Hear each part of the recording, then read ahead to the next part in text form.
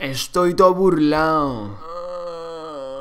¡Ey! Muy buenas, bienvenidos al episodio 10 de Plantas vs Zombies Garden Warfare. Hacía tiempo que no me echaba una partida, pero tengo que decir que aunque no haya jugado en bastante tiempo, es un juego que siempre quieres volver a jugar. Tiene tiene unos buenos servidores, buenos mapas, una gran jugabilidad, es alegre, simpático, etcétera, ¿no? Y por fin, hoy volvemos con un nuevo episodio al canal. En esta ocasión le toca al personaje paisajista mejorado al máximo, como todos los personajes que aparecen en mis vídeos. Este personaje tiene un pequeño parentesco con una planta. No sé si os acordáis de lanzaballas, que salió ya hace bastante, bastante tiempo. Bueno, no pasa nada si no os acordáis porque voy a hacer pequeñas comparaciones con el paisajista y ese otro personaje planta. Lo primero de lo que quería hablar es, como estáis viendo, los críticos. Menudos críticos que mete el jodido paisajista. Siempre son críticos de 34. Da igual si está cerca, a media o larga distancia. Siempre se marca críticos de 34. Eso está fenomenal, porque hay personajes que cuando te empiezas a alejar ya un poquito, los críticos también quitan un poquito menos, pero no, con este no, este se mantiene los críticos a 34. A veces veréis que se hace un crítico de 24 porque eh, matas al, eh, al, personaje, ¿no? Y cuando lo matas, pues le quitas 24, ¿vale? a lo mejor le queda 24 puntos de vida, por ejemplo, o 23, o 22, o 20, o lo que sea. Y lo que te sale es 24, pero que el crítico es siempre 34, siempre. Salvo el último, que, que es porque lo mata, no es porque le vayas a quitar menos. El lanzaballas, por ejemplo, también tiene un crítico muy potente. Si no me equivoco, también tenía uno muy similar a este, unos 34 aproximadamente. Lo que no sé es si ese personaje mantiene el mismo daño crítico estando lejos.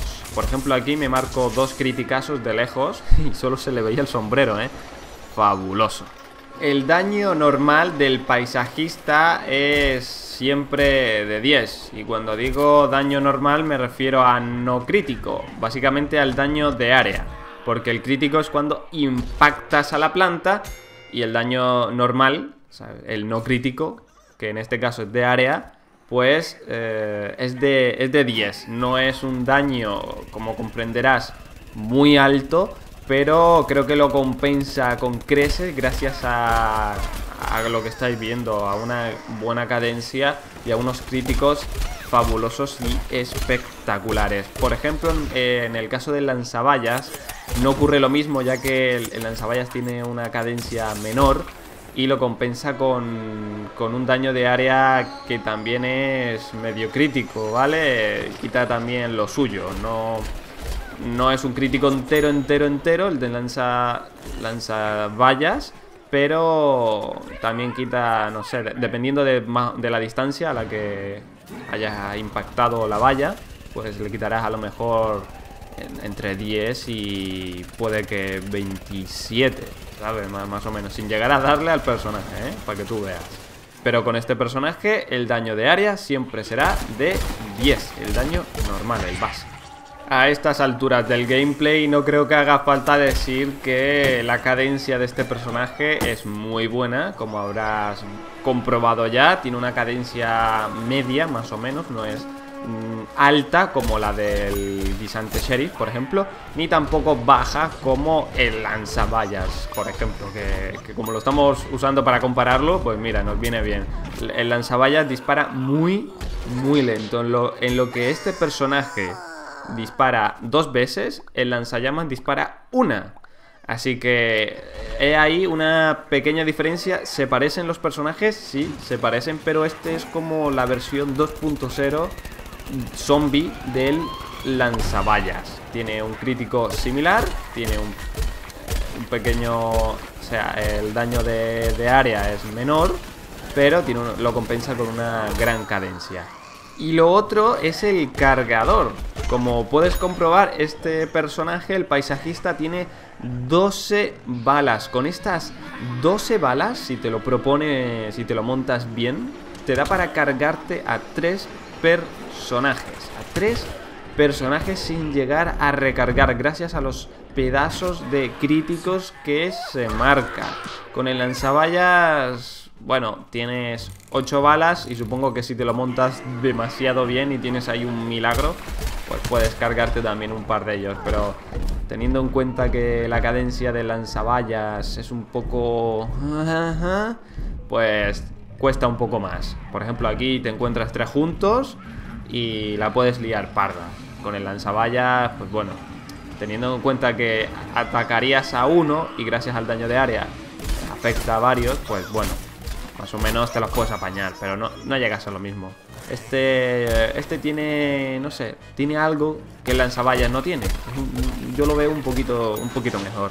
Y por ejemplo, eh, este personaje, con la combinación, eh, la habilidad esta de, aturdir, aturdes a tres personajes, ahí le lanzas la bocina, que es lo que yo hice antes, y te puedes ahí hacer una triple tranquilamente. O sea, esa combinación de, de aturdir y cargarte los acríticos de cerca es fenomenal porque es casi imposible fallar. Están medios parados, amongolados ahí, ahí sufriendo los pobres que no pueden hacer nada. La combinación de aturdir y los críticos es increíble.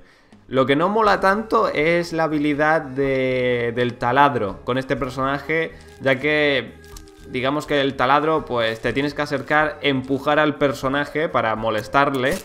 Y claro, digamos que este personaje, si no haces críticos, no haces nada. Y claro, si vas a empujarle, eh, no sé, es un poquito más complicado hacer crítico. Acabarás haciendo más daño de área, que son 10 puntos. Y no sé, no me convence tanto como por ejemplo la habilidad de aturdir.